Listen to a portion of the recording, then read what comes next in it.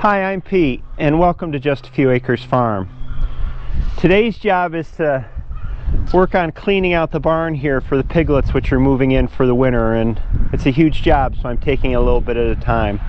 But while I do this job, I thought that I would talk to you all about the economics of a small farm, sort of how we started, how we make a living off it, now our farm is an awfully small farm in the big scheme of things. We're surrounded by large dairy farms and crop farms here in upstate New York and we're just a 45 acre livestock farm. So how do we do it? I'm going to cover that as I move this lumber. As I finish up my coffee here and get ready to move this pile of lumber onto the wagon and then up to the upper barn where I can store it out of the way, I'd like to ask you to subscribe to our YouTube channel. It means a lot to us every day when we get one or even two subscribers to our channel. And our mission is to show others how they can make a living off of a small farm in this day and age when it seems like bigger is always better. That you too can make a difference by getting your own piece of land and raising livestock or vegetables and selling it to your local community. It makes your food supply meaningful. It connects people to place. And we're doing that and we want to show others how to do that too. So please like this video. Please subscribe to our channel. Please tell others about our channel. And with you, we can grow it. I guess I should start at the beginning sort of statistics about our farm. We're a 45 acre farm and we're located in upstate New York. The summers here tend to be hot and humid. The winters are cold and snowy. We get about 150 snow, inches of snow every winter. I grew up on the farm. I'm a seventh generation farmer. This land's been in my family since 1804. And my grandfather lived in the house that we live in now when I was growing up. In 1995, Hillary and I moved back to this place. And the house was a wreck. So we spent 10 years fixing it up. Now, I was working as an architect and Hillary was working as a registered nurse. And in 2013, I decided to leave my job and start the farm. And so we had kind of a blank slate. The house was fixed up and this big barn was here, but really nothing else in terms of farm infrastructure. We had a clear idea of what we wanted to do when we started out. We wanted to have a livestock farm because I was familiar with raising livestock and uh, I was never any good at growing vegetables. Our garden sort of half survives. Planning is key to starting and maintaining a farm, and you have to be good with numbers, and that gets overlooked a lot, I think. What we did in the first year is we called that our test year. We started growing chickens and pigs and turkeys and brought the first cattle on the farm. And what I did the first year, and I still continue to do this, is I kept very careful financial records of all the money that went out and all the money that came in and put them all on spreadsheets. So at the end of that first summer, I knew exactly how much it cost us to grow a meat chicken. I knew how much we could sell it for. I knew what the profit was. I knew what the labor inputs were for, for the chicken. And I knew this for every single animal we were raising. Now, once I knew that, it was pretty simple to lay that out on a spreadsheet and say, okay, if we need X amount of income per year as a family, we need to raise this many chickens, this many turkeys, sell this many eggs, send this many beefs to market and it was all laid out there. So in the first year, we had our ultimate business goal. This was the sustainable model for our farm.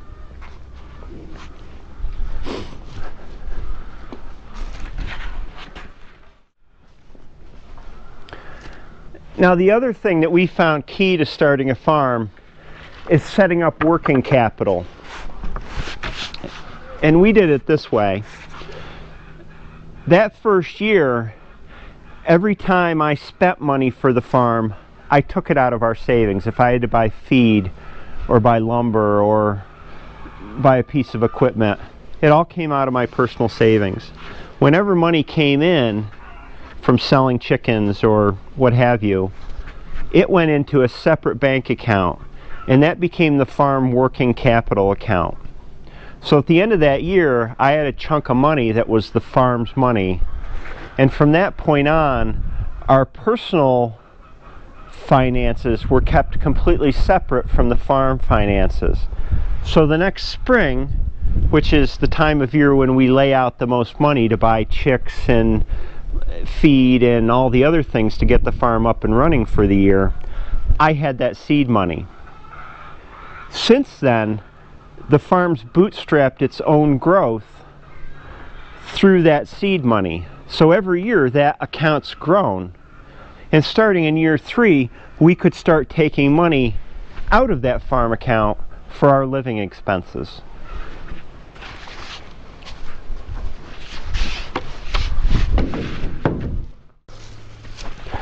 This is the way that we did it, and frankly, I can't see another way to do it. It takes so much capital to get a farm up and running. And it's really capital intensive in the starting phases where you've got to build fencing and buy livestock and all those things.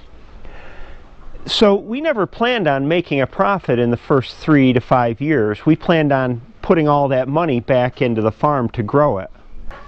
I've never been able to figure out how somebody that's just starting, say, right out of college and doesn't have any savings can ever start a farm because uh, you need to keep a farm as a second job or you, you need income from someplace to generate that capital that you need to start the operation. I guess you could go out and borrow it. And we didn't borrow any money. But the but the the the, the load of that debt on the farm operation drags it down. I mean, plus you're paying interest on it. So that would be a really tense situation for me to have to worry about paying the bank every month as well as making ends meet on the farm and feeding my family. We're not in that situation. We don't have any debt.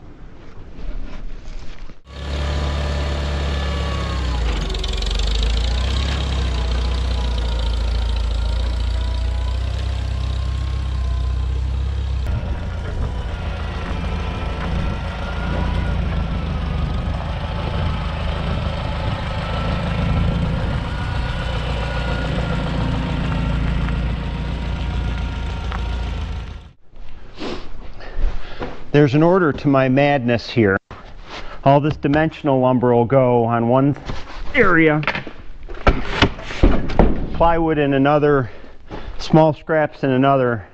That way if I have a project where I need to access it, I don't have to dig through the whole pile to find what I need. There's some pretty simple but not always easy to follow principles about how you hand your handle your money on a small farm. And the first of those is you got to cut way down on your living expenses.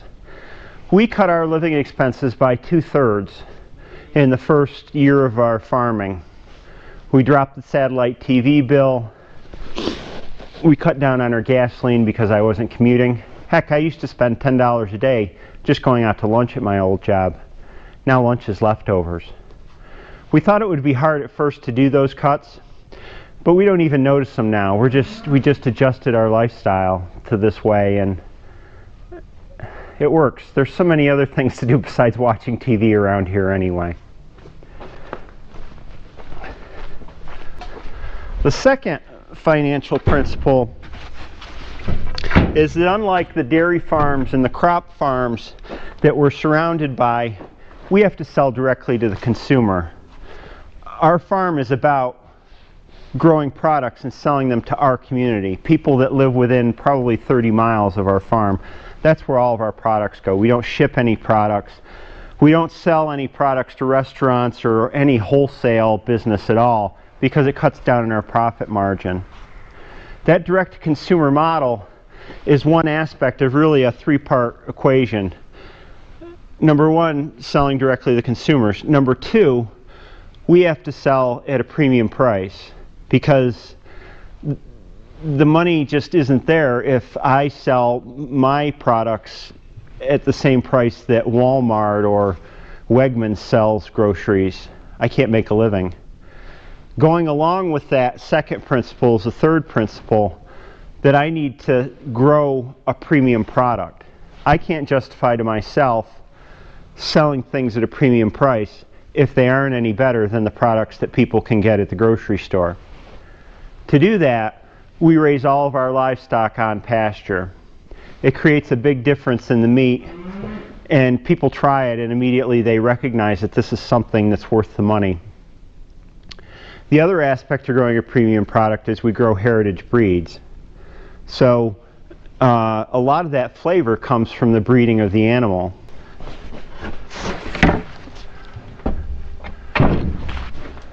Continuing the theme of reducing our living expenses, we also had to look at the other side too and make sure that our, our farm is a thrifty operation. There's a couple of ways that we do that. Number one, we don't buy any new equipment. All the tractors and the equipment that you see around here, they're old. And when I bought them at auction, some pieces were practically junk. Um, there's kind of pride in mechanical know-how that we have, knowing how to fix things up, knowing how to repair things when they break down, and getting equipment really cheap. It's a little frustrating sometimes when you have to spend time working on equipment when you're in the middle of something. So the way I go about it is I buy a piece of equipment, I use it for a year or two years, fix what needs to be fixed during that time, then I have a really good idea of how that piece of machinery works and I can make a decision either to go all the way through it, sort of fully restore it so that it's reliable from then on, or I can move on to say, well, that piece of equipment really wasn't a good investment, buy another one. And I'm really not down that much money because I'm buying things, what I like to call, quote, fully depreciated. They're really cheap. The second piece of that reducing farm expenses thing is you have to learn to do things yourself, not only mechanically, but when it comes to building fences, building buildings, you know, housing for the for the animals, building what we call pasture furniture, which is the all the accommodations for the animals as they move around the pasture. You got to do that all yourself. If you pay a mechanic or a carpenter, you're not gonna you're not gonna make a living as a small farmer. All that money is going out. You have to do it yourself.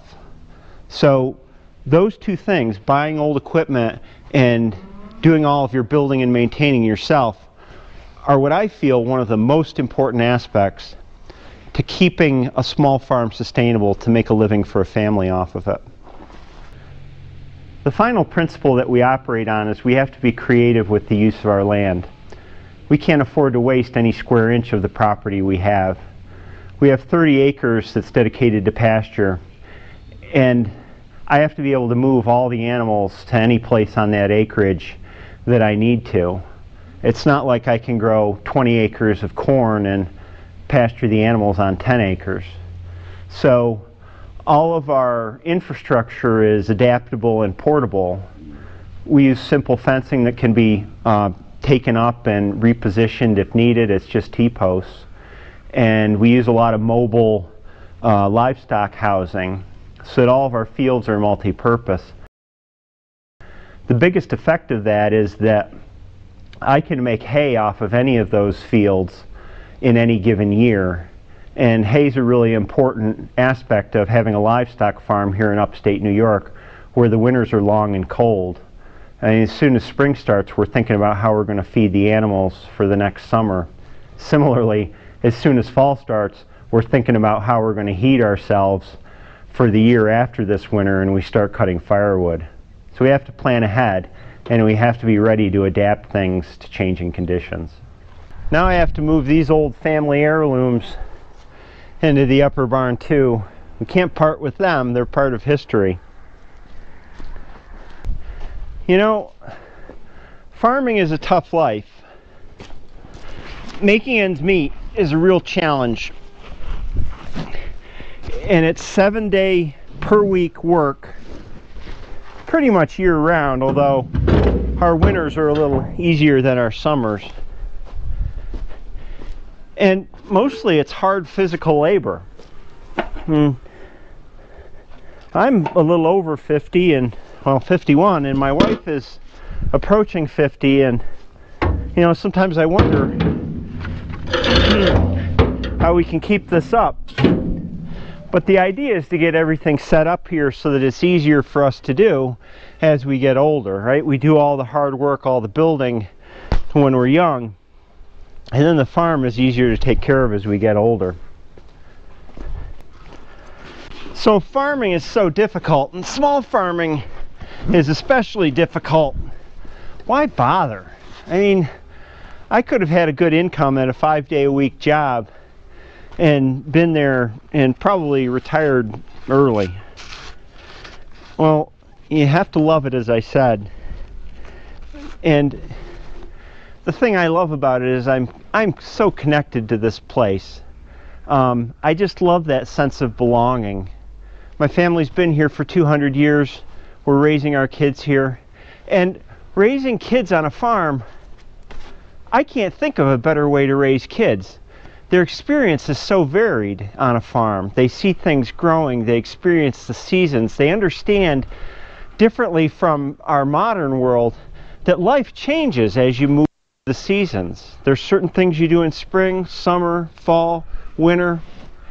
It's so rewarding that way. It makes you feel like you're doing or you're living the way people were meant to live in sync with nature and nature's rhythms. Lots more reasons I enjoy farming. I don't miss the commute at all. I love walking out my back door and right there's my job. Now the consequence of that is my job never leaves me, but I don't mind because I'm I'm still in our seventh year here excited about what the next day has to bring and the work that needs to be done.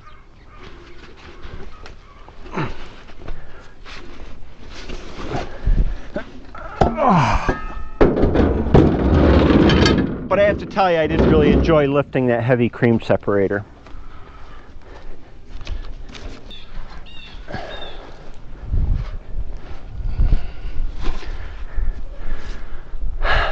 The other great thing about the way we farm is we're not affected by commodity prices.